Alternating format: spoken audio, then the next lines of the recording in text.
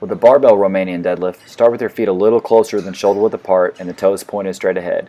With your knees soft, your chest out, and the lower back slightly arched, you're going to drive your hips back as far as you can until you feel a good stretch in the back of the legs, and then drive the hips forward and finish the exercise with a good squeeze of the glutes at the top.